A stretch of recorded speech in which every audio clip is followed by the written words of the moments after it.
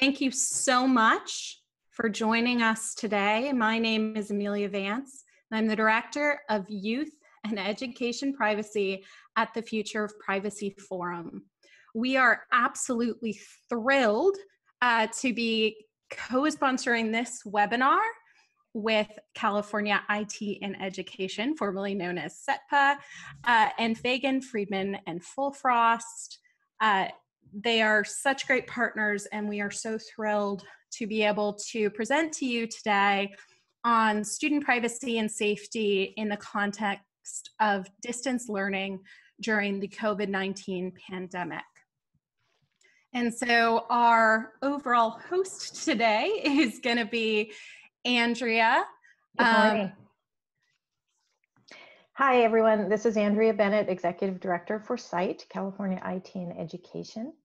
And um, I'll be uh, trying to take all the questions and, and um, uh, monitoring the, uh, the event with Amelia and Gretchen. Beautiful. Thank you so much, Andrea. Uh, Gretchen, do you want to briefly introduce yourself? Sure. Thank you all for having me. My name is Gretchen Shipley. I'm a partner at the law firm of Fagen Friedman Fulfrost, but many people just call us F3 Law. And we are a law firm dedicated to advising and representing school districts in California and throughout the country.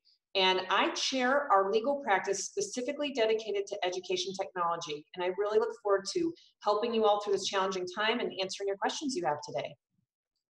Perfect. So, Andrea, do you want to go through our agenda for today? Sure. So uh, just to clarify, we um, we are talking about privacy today. We're, we're probably not going to have time to answer any technical questions um, or, or specific vendors. There's a lot of information here, so we're going to try to get through each of these questions here in about five minutes. And then we'll, we're going to have 15 minutes for, uh, 10, 15 minutes for question and answer. So go ahead and use the question answer and not the chat if you can remember um, to uh, ask your questions and we'll line them up and we'll get them going. There's a lot of people monitoring this, so we should be good to go. Uh, first question, what are important steps you can take to establish a distance learning program during COVID-19? Perfect, and Gretchen. Okay, um, so just before I get into these 10 steps, I, I, I just want to commend everyone on this call for your timeless work to provide continu continuity of education right now and establish distance learning. Since we are speaking to a nationwide audience, many of you are at very different stages of transitioning to distance learning. So I'm, I'm quickly gonna walk through these 10 steps that both help you establish a distance learning plan and help you identify issues that you should be taking into consideration. Um, there's going to be many questions today, and if we can't answer them all, I really encourage you all to continue to submit them to CITE and FPF, and we can have future webinars to continue to answer your questions. But in the interest of time, I'm, I'm gonna dive right in. So the overall theme is districts should be establishing a distance learning plan. These need to be flexible over time and varied for both short and long-term goals please keep in mind that there needs to be equal access to education for all your students. And so you it may need to vary to make sure you are serving economically disadvantaged students students with disabilities and english language learners. Going through these 10 steps uh, the first one is assess what resources you currently have your hardware your software, and what resources are needed to serve your student population in order to ultimately deliver online instruction, if that's your ultimate goal with your distance learning plan.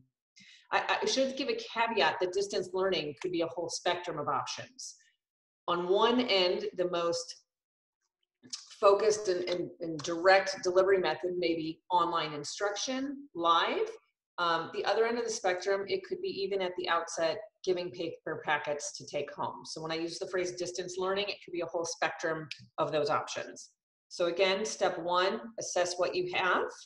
Step two, inquire. It is legal and acceptable to inquire with your families what accessibility they have at home.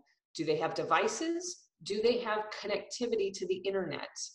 Um, I know in the state of California, which is likely throughout the country, um, we are obligated to provide our students with a free education, which means we cannot compel our families to purchase internet or to purchase devices.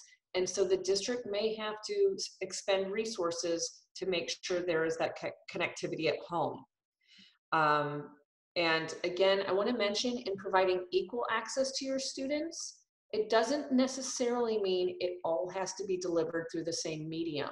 If you have a variance of need and accessibility, as long as you're providing similar curriculum on paper that you are online, in most states, that should still meet your goal and your requirement of equal access to all students. So step one, assess what you have. Step two, inquire with your families. Step three, many of you will need to go out and procure on an emergency basis additional resources. In California, and as maybe the rest of the country, typically when you make purchases, you have to go through a fair and competitive process. Typically, there is an emergency exception, and many, if not all, counties and school districts are in the process of declaring an emergency if they have not already. And part of that emergency declaration can be the need to purchase emergency resources. Do not forget to have your business team review contracts that you are purchasing these emergency devices for things like data privacy, term length, termination, insurance, and we can get a little bit more into that. Um, another thing to evaluate as you go out making these purchases is if you work with an E-rate consultant or you want to go on the E-rate webpage to get more information about whether or not E-rate funding is available for these purchases.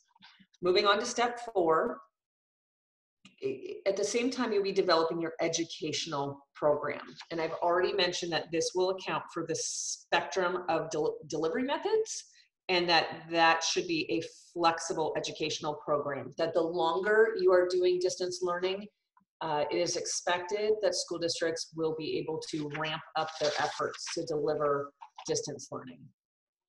Um, there are some unique, you know, recommendations of how you can get uh, internet access, or some ideas, I should say, of how you can get internet access in the homes that don't otherwise have it. Um, you all may have heard of concepts like putting hotspots, Wi-Fi hotspots on school buses and parking them in neighborhoods. There's many organizations that are helping to deploy free Wi-Fi hotspots. Many internet providers are providing free service right now. So um, I know at the end of this, there are uh, resource pages and um, th that may have additional information for you. Step five, identify what curriculum you intend to utilize in order to deploy distance learning. Work with your curriculum and instruction team, but do not forget to review the contracts of these software companies um, with educational curriculum because again, we need to make sure that the content meets standards and is safe by having all the correct data privacy tools in place. Um, we recommend that if your individual state isn't already requiring it, that you have your teams have some form of record keeping about tracking materials and instructional time if it's not expre- if it's not already expressly required by your state. Step six, once you've identified your curriculum and your delivery method, don't forget to take into consideration how you may need to adapt your program in order to ensure access to your economically disadvantaged students, your English language learners, and your special education students. We have a wealth of additional information I know on our website and perhaps in the resources at the end specific to delivering instruction to these specific populations. Step seven, school districts will need to provide training to their staff on how to use these software platforms and devices, to parents and to students to navigate these online learning tools. Do not uh, keep in mind that there may be collective bargaining implications with your staff and therefore please bring in your human resources or labor and employment administrators to navigate that process. Step eight, communic communicate clearly your plan, your distance learning plan to your community and your expectations. Step nine, Now we'll be at the point where we are deploying the resources, the devices, the hotspots, the cable cord. Um, first and foremost, work with your county health department to determine what safety measures are needed and expected gloves, masks, Clorox wipes. Um, but you need to establish a process. So this may be recording the condition of the devices that are going out, the serial numbers, because at one point in time you may need to be uh, having those all returned to school. And um, many school districts are requiring a, an agreement on expectations of use or putting a policy in place for both staff and students. And those policies will govern a lot of the topics we'll cover today regarding expectations of use, notices about recording, FERPA compliance. Um, don't forget to evaluate your insurance coverage in case devices go missing or stolen. And finally, uh, make sure that your essential service workers includes maintaining IT support for staff and students. Uh, a final word of caution is there has been an increase in cyber attacks just in the past few weeks. So make sure your IT team is aware of that and can conti continue to provide a safe learning environment for your students. So with that, I will turn it back over to our team to get into our Q&A. Great, thanks Gretchen. Um, just before we go to question two, I just want to remind everybody, we're not addressing questions about how to use specific prod products in uh, you know, privacy protected way or questions about special ed in particular. Um, I know F3 Law would be happy to answer those questions offline. Um, and our, I'm sure our, our contact information will be there at the end. So Question two, is online learning permissible under FERPA?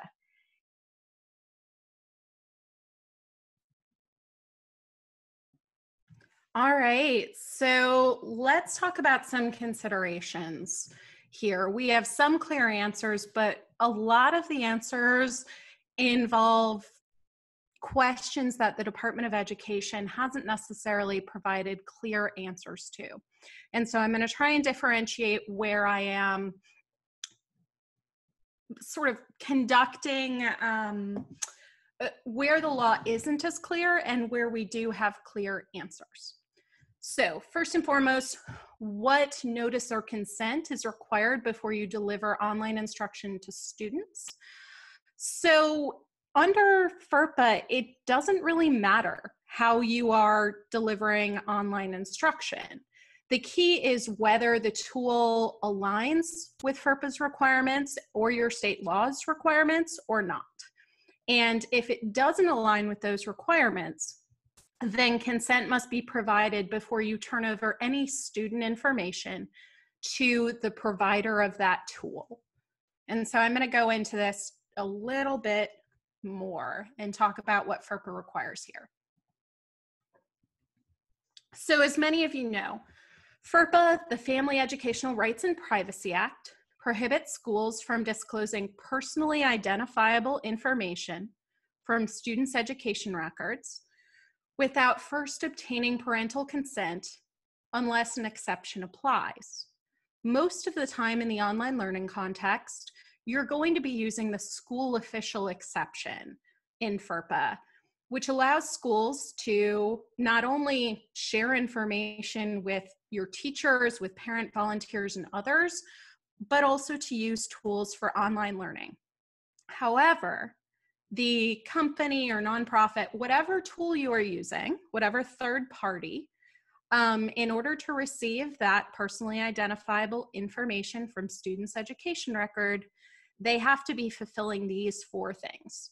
So they have to be performing an institutional service or function that the school would otherwise use its own employees for. So you can think of this as sort of in an ideal world. If you had the money for it, you would hire staff to do all the things in your school. And so this is a pretty flexible requirement. Uh, so are, they are helping you conduct online learning. In that case, you fulfill this bullet. The third party you're turning over information to has to have a legitimate educational interest in the information. This means you're only turning over the information that they need to know to deliver the service to your students.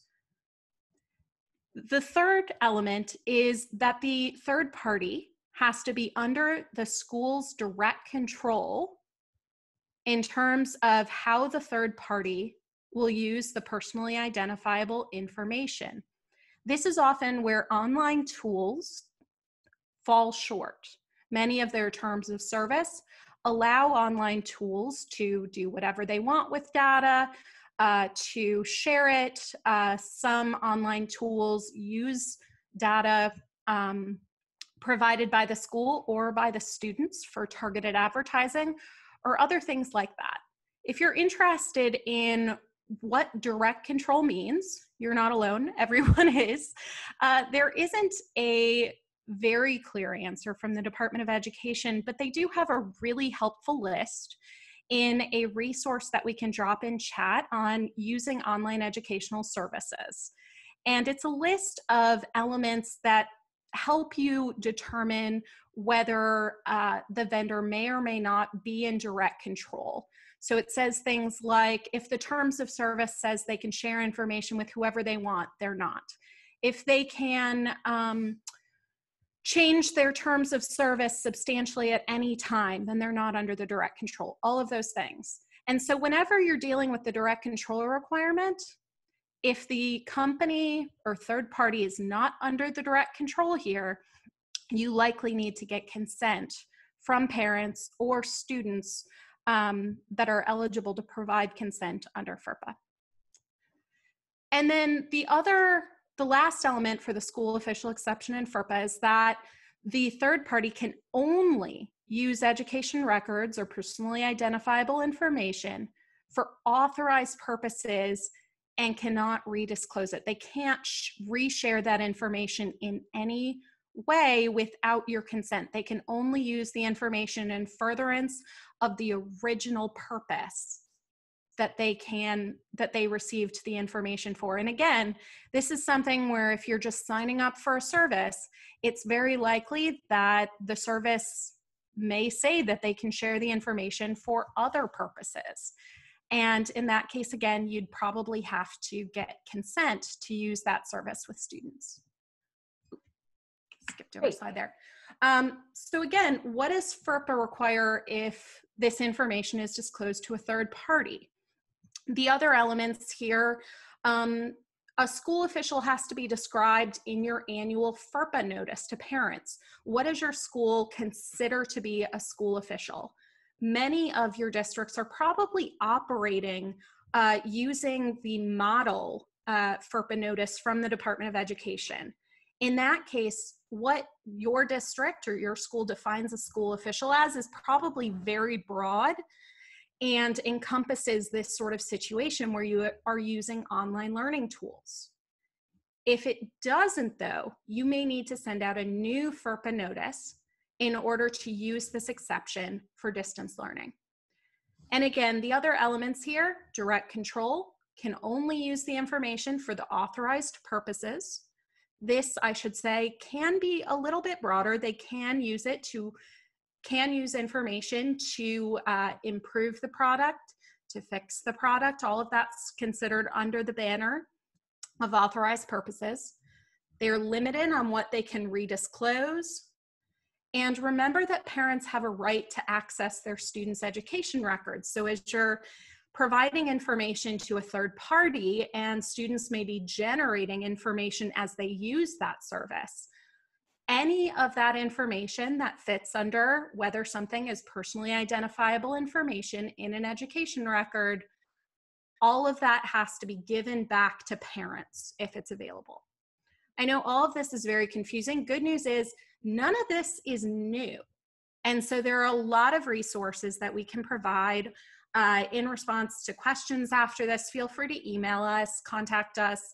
Uh, there are a lot of really detailed webinars about how to work with third parties in disclosing information to a third party that apply just the same in a distance learning situation as it does when you're holding in-person classes. I want to emphasize that there's also guidance from the Department of Education specifically about an online service provider in a distance learning situation. So this letter put out in, I believe, 2017 or early 2018 uh, was a response to a parental complaint. And these are the key points. parents cannot be required to waive their FERPA rights as a condition of enrolling or participating in an education program. This means that if you haven't done your due diligence to make sure that an app or software or website falls under the FERPA school official exception, you must get their consent and they don't have to give it to you. This is why it's much better to use a vetted app or service uh, that uh, someone in your district or others have found is compliant with FERPA and whatever state laws. Uh, emphasize the letter also emphasized that again schools should use the school official exception where they have to make sure that the vendor is under their direct control and is not resharing the data rather than consent for required apps and services being used in schools. And then review vendors' terms of service closely to ensure that direct control has been properly established. I know many of you also have questions about COPPA. This is not a law that applies to schools. And so generally, you don't have to worry about it. But many vendors may try and pass on their responsibilities under COPPA to you as a school or district. So, COPPA, the Children's Online Privacy Protection Act, applies when children under 13 engage with many online learning tools. COPPA regulates companies and requires verifiable parental consent for the collection, use, or disclosure of PII from children.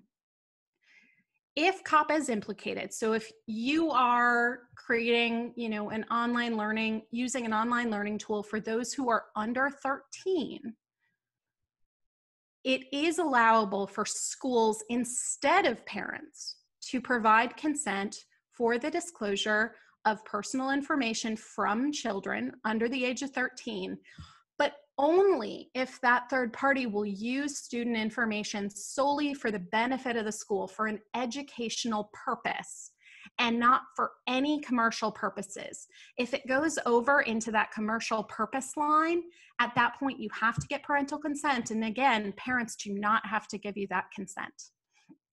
The easy way to look at this is if you are fulfilling FERPA's school official exception and you are using a tool under that exception, you're good under COPPA 90% of the time. And so, as a school, go ahead and focus on that and don't worry about COPPA right now. However, if a vendor says, we need you to get consent because of our COPPA obligations, that's probably a red flag because they likely are doing something that isn't allowed under FERPA or COPPA without consent. Things like using third party trackers for advertising or um, uh, selling information, sharing information with partners, other things like that. Um, and so be wary uh, of those requests and reach out to your legal counsel. Great. So before we go into the next question, just a reminder for my panelists, we're at 27 minutes past the hour. And so the next question is, can I use live video for distance learning? Can I record lessons? And I think we're gonna start with Gretchen. Um, well, Amelia, did you want to jump in before I start? I see you have a slide up here. Yeah, uh, so just really quickly. Um, so would using video conferencing for online learning violate FERPA? Um, this is a question we've been asked a ton. So schools can use video conferencing tools that meet the school official exception discussed earlier. Generally, tools that are developed for general audiences or workplaces were not designed, most likely, with student privacy laws in mind. So before engaging with any online platform, do your due diligence and ensure that appropriate privacy protections are in place. Consider tools developed for learning environments and tools pre-vetted and approved by your school or district. Okay, this is Gretchen, and given that we're halfway through the hour, I'm going to move through some of this, my slides fairly quickly because these will be available to you in the future, and we'll have follow-up webinars for additional questions. So one concept I wanted to address is this very popular uh, concept of posting pictures on social media or the internet of online classes. It is great what all the teachers are doing and how creative and innovative they are, but we have to respect student privacy. So there's two concepts that come into play here.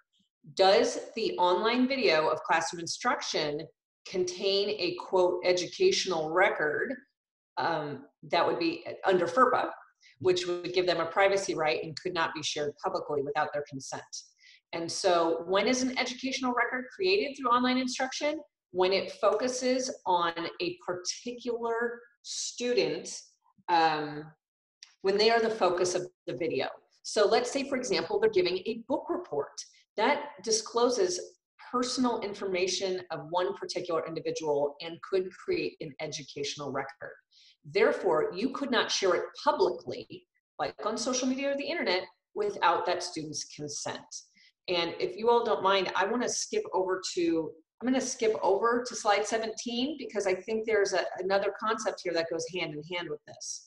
So on one hand, we need to make sure they're not creating an educational record where we'd be sharing that publicly without their consent. But the other second concept that goes hand in hand here is what about students who have opted out under FERPA from having their image shared? So all school districts throughout the country provide a FERPA notice at the beginning of the year. And that FERPA notice says, we can share your directory information, your name, your address, your photo, unless you opt out. It is important that school districts maintain a list of who has opted out. Think about why a student may have opted out of having their information shared. Sadly, many of the times it's because they may have a non custodial parent who may be violent, maybe they're getting out of jail, and their custodial parent does not want their identity or their location shared publicly. So it becomes a real safety issue. So it's important that if you that you have a process in place that before any teacher would post images on the internet that they double check that your district's opt-out list. So as you develop your policy and your guidelines for online learning, the, I guess the takeaway here would be don't post your online classes on social media or um, on the internet without specific student consent and or checking that opt-out list. And if you have students on the opt-out list, don't do it at all. Hope that was clear. Yes, that was great, Gretchen, and one that unfortunately we've seen a lot of uh, those sorts of screenshots on social media.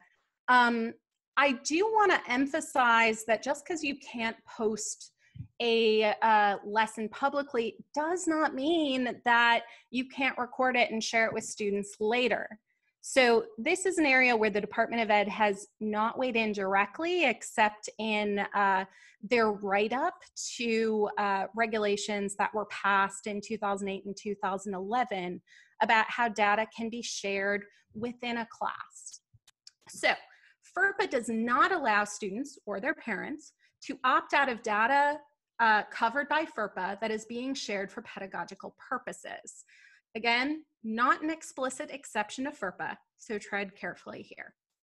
When there is an in-person class, there is sharing of personally identifiable information that is part of education records all the time, from calling on a student and therefore using their name to knowing which students are in which classes, to being able to have students participate in a group project for which they receive a collective grade.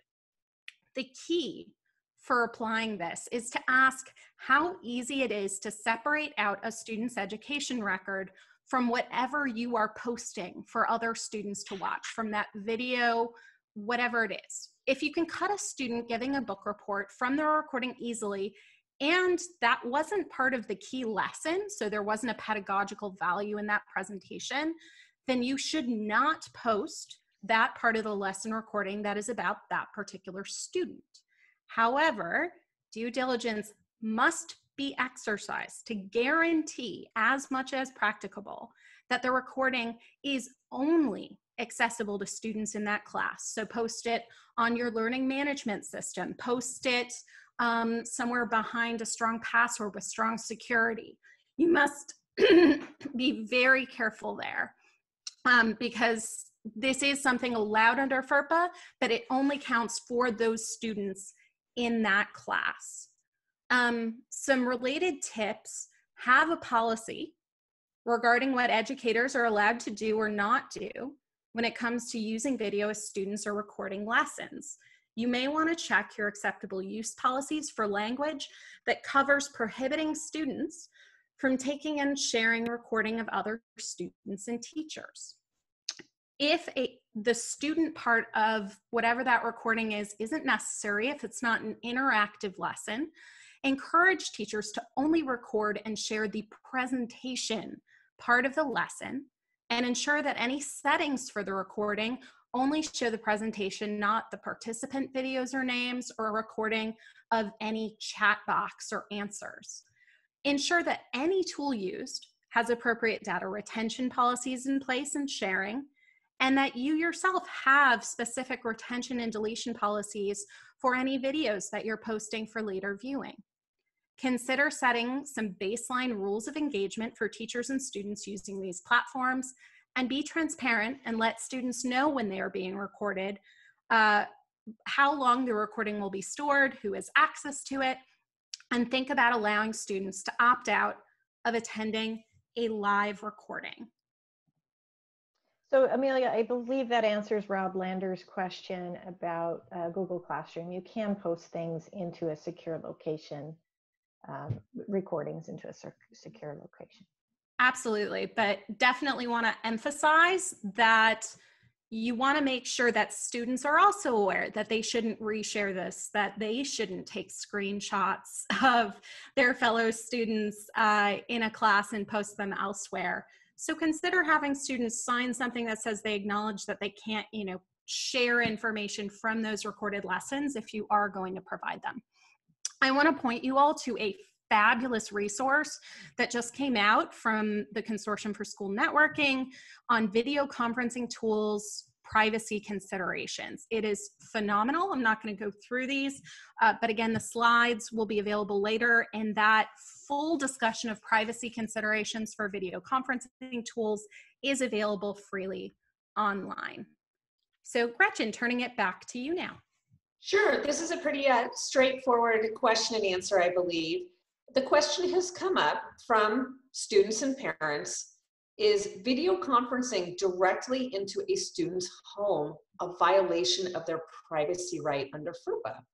And last week, on March 23rd, the US Department of Ed issued a notice and several resources clarifying that, in fact, that is not a violation to their privacy just as a parent or volunteer may observe in a classroom, they also would have the same rights to observe or uh, volunteer in a virtual classroom. Therefore, it's not a violation of their FERPA.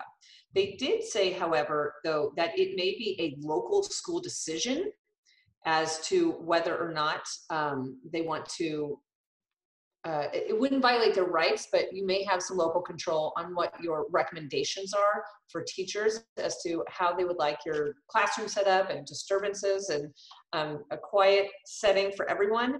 But they specifically said FERPA neither requires nor prohibits individuals from observing a classroom.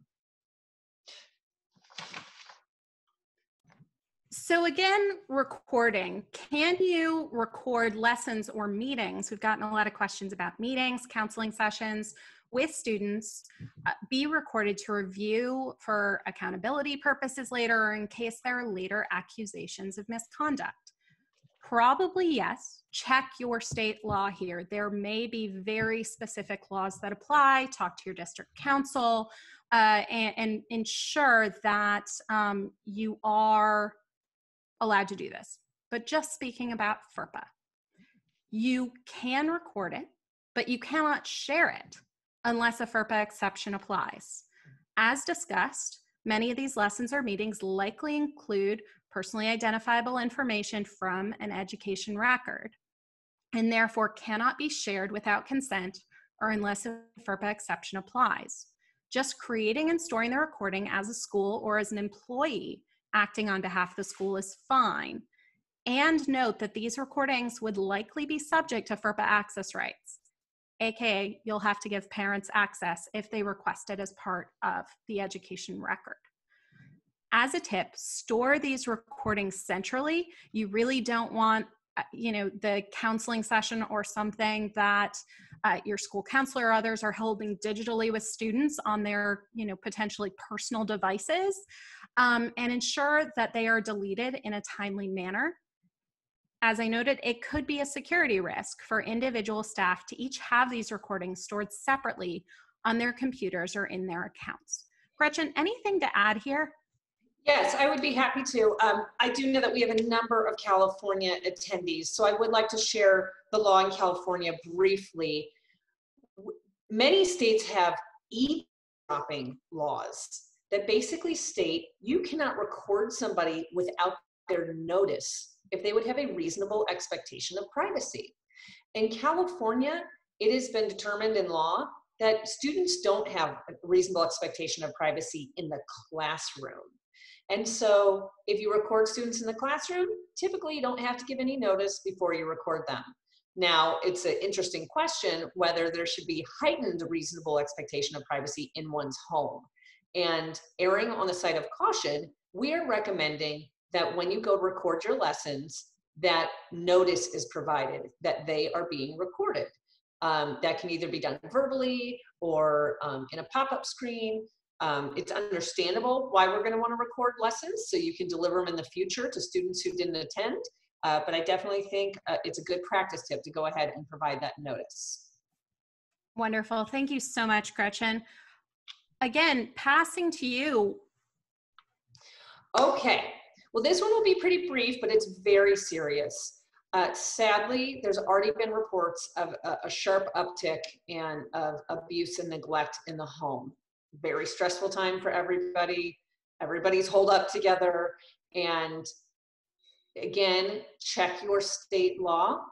But in almost every state, teachers are mandated reporters of abuse and neglect regardless of where they see it. So it's not just in the classroom. If you're communicating with students online and a teacher reasonably suspects abuse and neglect, it is to be reported to Child Protective Services or law enforcement. So I just wanted to make that important reminder. So if you're a school administrator and you're ramping up your distance learning for your staff, this would be a great practice tip to include in your training for staff or your guidelines for staff.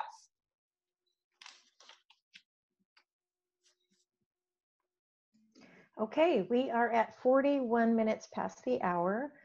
Um, next question, what are teachers' responsibilities regarding student misconduct online?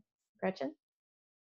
So again, uh, as Amelia talked previously about FERPA, the rules haven't changed all that much. Your code of conduct, your responsible use policy is going to apply at home just in the way it would at school. Your methods of disciplining may have to change. You may not be able to suspend somebody when they're already at home. And my uh, recommendation is to review your acceptable use policy, your code of conduct, and update it if it doesn't contemplate misconduct at home. I know we're not going to get into the weeds of the technical side of things, but there are resources for how you can set your online platform settings to minimize misconduct. And again, school districts, that's a way you can provide tools to your staff or requirements for your staff that settings be required for online instruction to minimize disruption. Another tip I want to share, um, and careful how you communicate this to your community because it could sound alarming, but when, when devices are not being used for instruction, remind staff and students to cover their cameras, even if it's with a piece of tape. Um, so again, you might want to be careful in how you deliver that message, but it is a great uh, responsible use tip, whether you're in the educational setting or not. Gretchen, there's a, a question uh, about content filters. Michelle's content filter is only on campus, so is she required to purchase content filtering for the devices that they're sending home? Let's go ahead and hold that question for the moment once we get into the uh, CIPA filtering and monitoring conversation, I think. Sounds good. Stay tuned. Okay. Thank you, Andrea. Okay, can a teacher sell their online lesson plan? So, full disclosure, I'm not an intellectual property attorney. However, it's my understanding that lesson plans are works for hire. Teachers develop lesson plans for their employer, the district, and the district typically owns those lesson plans. Accordingly, teachers should not be sharing them publicly uh, and selling them online without the consent of their employer. Many districts may or may not care that teachers want to go ahead and sell their lesson plan, but um, our recommendation for staff would be not to do that without permission.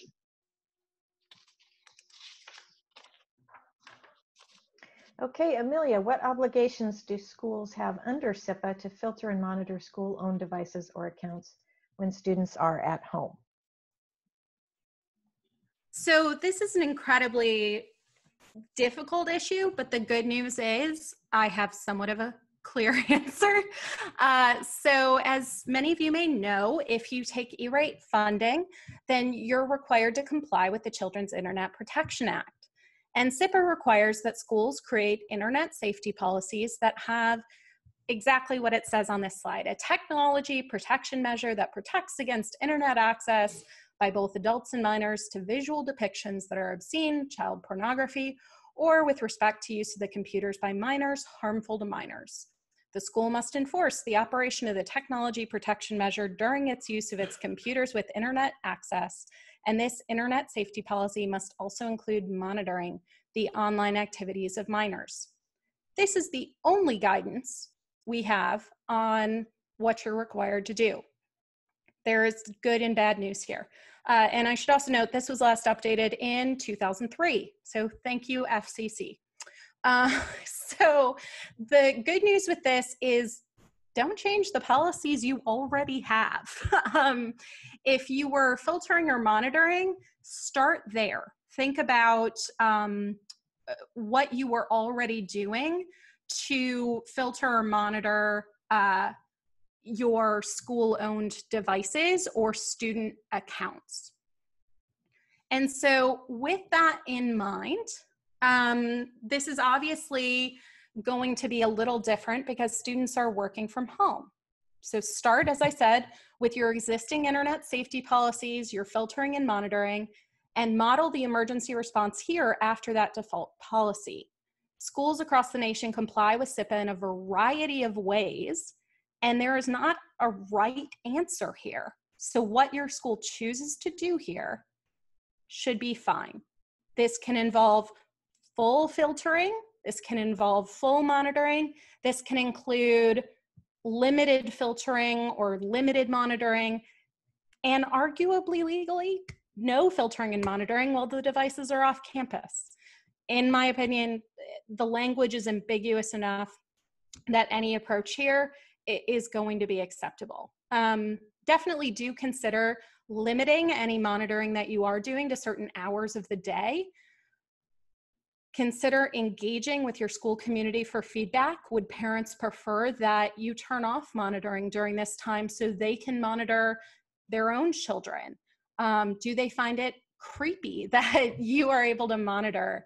Um, and also consider equity issues that may result from excessive monitoring we're dealing with some students that don't have alternative devices.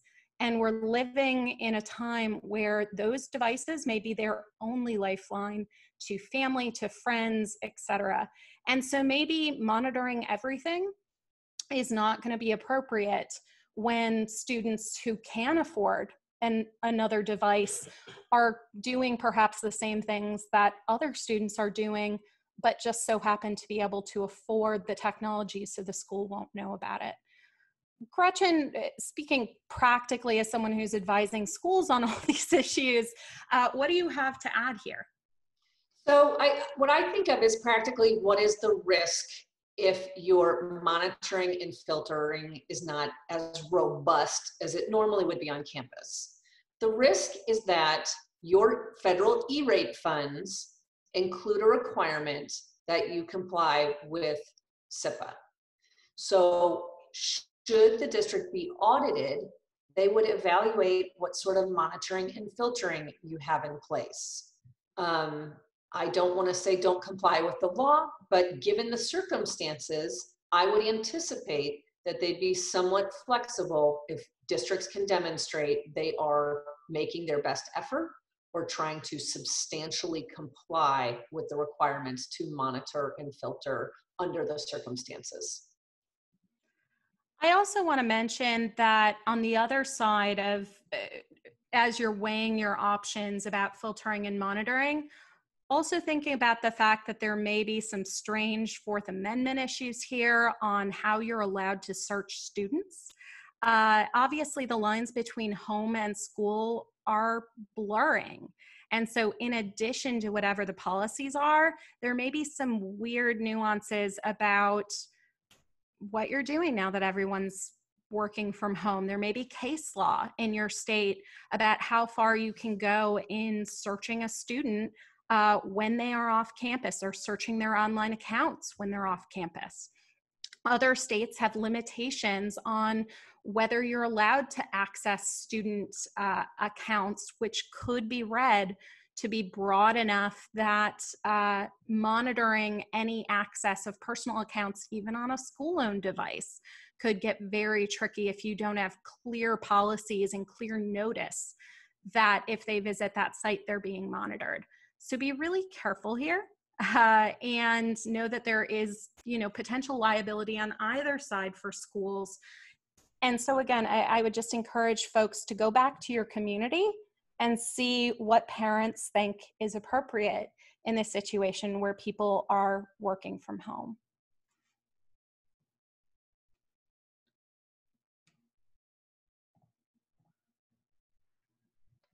That okay, is. go, sorry go ahead andrea so i was just going to say we're, we're going to go through a couple of resource pages here if you have not had your question answered now's the time to put it in the question answer box um, and there is one out there that we'll get to in just a second amelia Perfect. Uh, I just wanted to point out FPF uh, has been putting out a ton of resources here.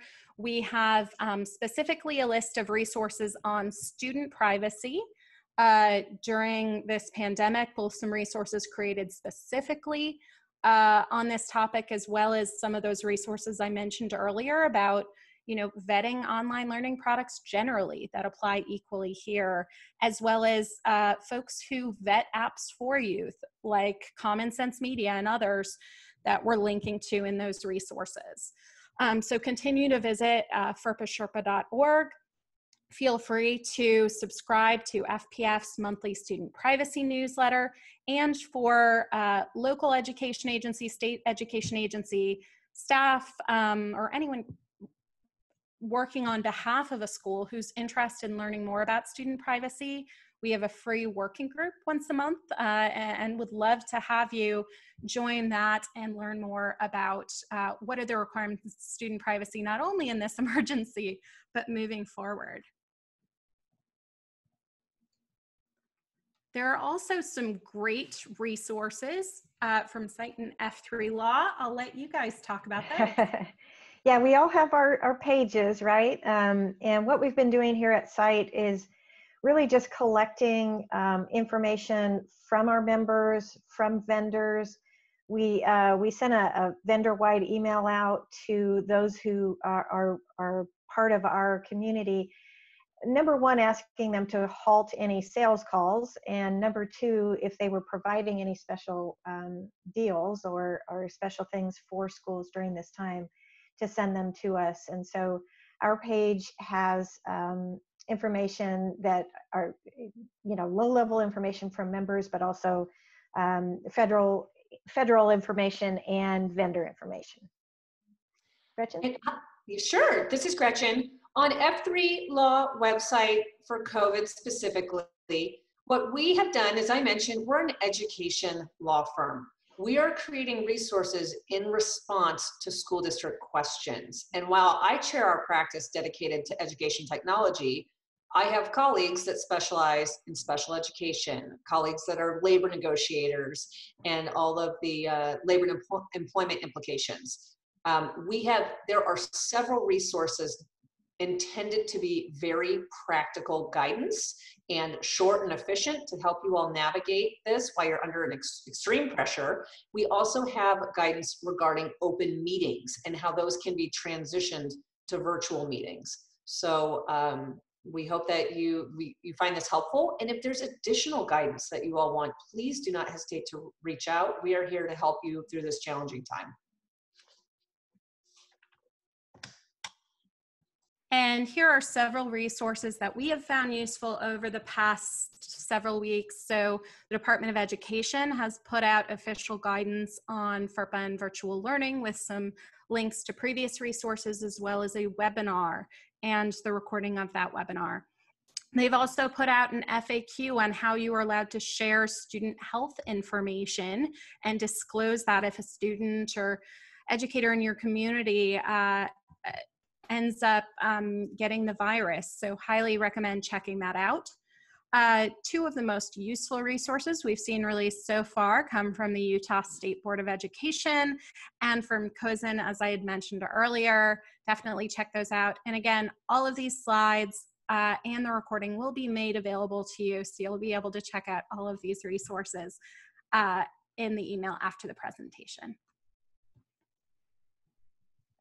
Great. So we do have a couple of questions here. Um, Robert's question is there an age limit on webcams being on?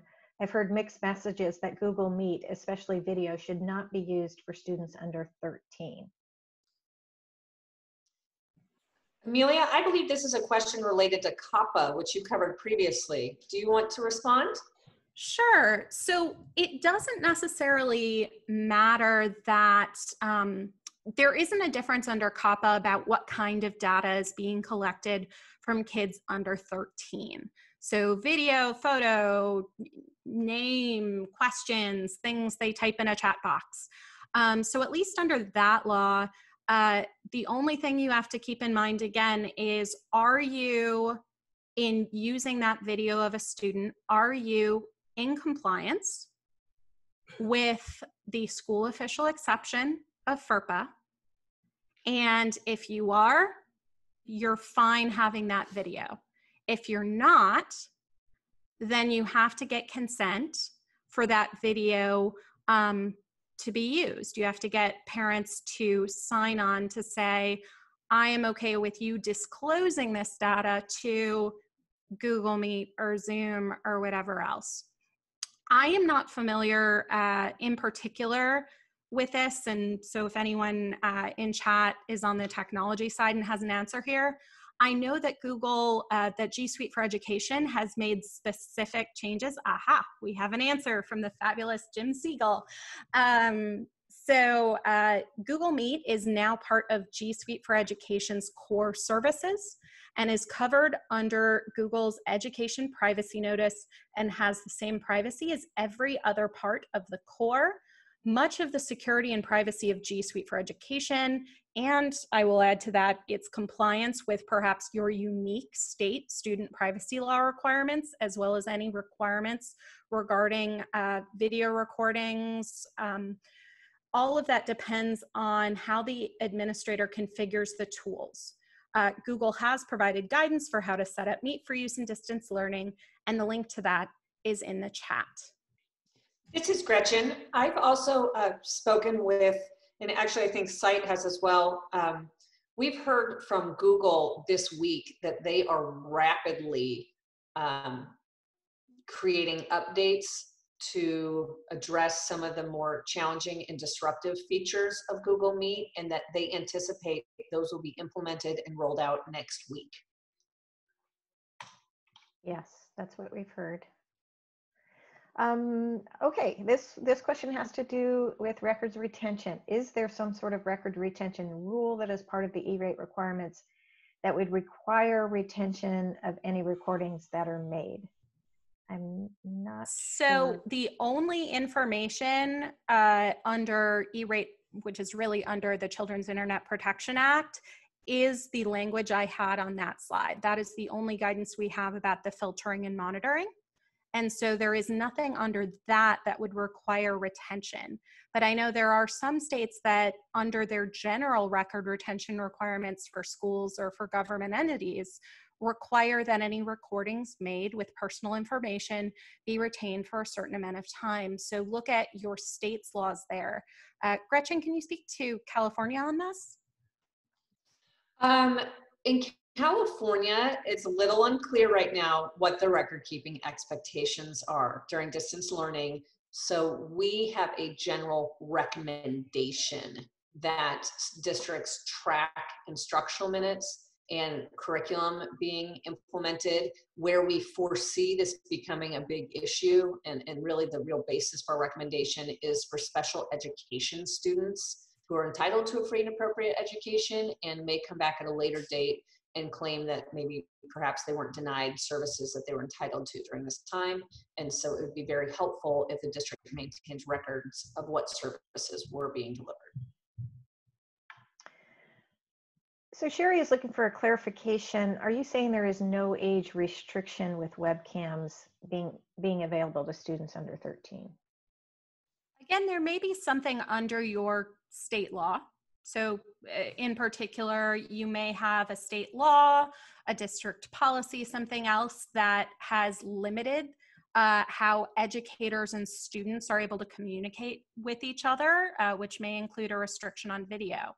However, under privacy laws specifically, there is not an age restriction related to webcams being available to students under 13. Instead, the question that you should look at, just as with any other data uh, being shown on a third party platform or being turned over to a third party platform, is whether or not uh, the third party, uh, who, you know, if I was showing my video right now, uh, would Zoom is Zoom in compliance with FERPA's requirements regarding the school official exception? Uh, is Zoom, in this case, um, compliant? If it is not, then you have to get consent from parents before using a webcam with a student under 13. If it is in compliance with FERPA's school official exception, so the school is in direct control of the information, it's only being used for an education purpose, all of that, in that case, um, you would not need to get parental consent so long as that information, again, continues to be shared or uh, stored or used in compliance with FERPA's school official exception. Great. So I, I, know we're at our time. Do you guys want to continue? I have, I do have a couple more questions. Happy to do just a couple if anyone has to hop off. A reminder that we'll send uh, the recording uh, and the slides, um, but happy to take a couple more questions. Gretchen, if you have time. Yes, and I, before we do close, I did have a couple closing tips if that would, if there was time for that. Okay. Um, I think I might just have one more. Uh, we, uh, in the chat, um, Amy says, we have parents wanting to conduct instructional video sessions with small groups of students. Thoughts or violation considerations seems potentially dangerous. Gretchen, do you want to start here? Um, I, I, I have, I do not have much objection to small groups of students one-on-one students, I could see where that could be uh, a little bit more potentially dangerous. But small group settings, um, you know, I don't see a FERPA violation there, and I don't have any objection to that. But I'd be curious to see what you have to say, Amelia. Yeah, um, this is again something where, as Gretchen said, one-on-one, you might have issues with, you know, potential improper behavior alleged later on or something where you may want to uh, have some sort of policy in place, uh, perhaps report it, various things like that. Um, but when it's a small group of students and the educator, I can't think of a particular issue. Again, it's about the underlying platform that is being used because just by being on video, all of us being on video with Zoom right now, you're turning over information whether you know it or not. And so the underlying question is whether the platform that you're using uh, is operates has terms of service and a privacy policy or a contract with your school that is in compliance and allows your school to be in compliance with FERPA and your state student privacy laws. If it does not uh, have terms of service, a privacy policy, or a contract that's in compliance, then you have a problem and you need to get consent from parents. If it is in compliance, then you can operate under FERPA's school official exception. Okay, great. Um, Alex is asking, should we re recommend um, not using Zoom, but using Google Meet? And I know that we said at the beginning, we were not going to uh, be, you know, recommending one product over the other. I personally know of districts using both both of those um, successfully, and as Gretchen mentioned, Google is making changes to Meet uh, to make it more private and more secure. So I think you just need to really, you know, do the research and make the decision. Um, Enoch was was uh, cautioning about the free version of Zoom, and and that's definitely something you want to look at. Don't just don't just jump on a free version of something. Make sure that you've got your privacy policies and your and your um, cybersecurity all, uh, you know, that you're able to manage that before you jump on a free product. I'll emphasize with that also. Um, I believe it's easier for an individual educator to sign up for account for G Suite for Education. Um, and uh, as previously mentioned, Google Meet has now been made part of the core service products uh, where it complies uh, depending on how you set the administrative settings with FERPA school official exception, potentially with state student privacy laws. So if your school does not have a centralized approach, maybe slightly better um, than using Zoom for Education at the moment. Um, because as of right now, which is last time I went on the web page, um, I think the school itself has to set up Zoom for Education versus an individual educator. Um, and so just signing up for the retail version of that or any product um, uh, likely means you either need consent before you turn over any information uh, from parents or you need um, you need to have a contract or some other agreement with the company right uh, last last question here lefty is asking is it okay to allow access for students to be able to communicate with one another using google hangouts or meet or etc um, if the tools are provided by the district this may include video as well as chat Gretchen, do you want to start here? Sure. This is a tough one that we've received. I keep analogizing this to the school environment. Would you allow students to get in small groups and working homework together? Sure. Is the district going to be able to monitor and supervise that? Maybe. So again, you know, if they're using a district platform, a district device, there may be some monitoring and supervision implications. And to again, maybe provide notification through a pop-up or a banner that utilization of these school resources and software platforms may be subject to recording. And, and again, reminders that um, anytime they're engaging in school work, that they have to abide by the school's code of conduct and responsible use policy. Uh, I do have concerns, again, Amelia brought this up earlier, about reasonable expectations of privacy and potential Fourth Amendment implications if students think they are not being monitored. So that's again why I think we need to be very clear when um, to parents as well as students when content's being recorded, when it is being uh, monitored and filtered everything Gretchen said is right on the ball. I just want to add there, you're going to have some weird situations as students are at home where they may have a personal uh, Google account or Microsoft account, whatever it, it, may be, where they're both logged into their school account and their personal account on the same device and may accidentally, you know, be chatting or other things um, where they think they're on their personal account and are actually on their school account you may run into more of those situations now as these lines blur.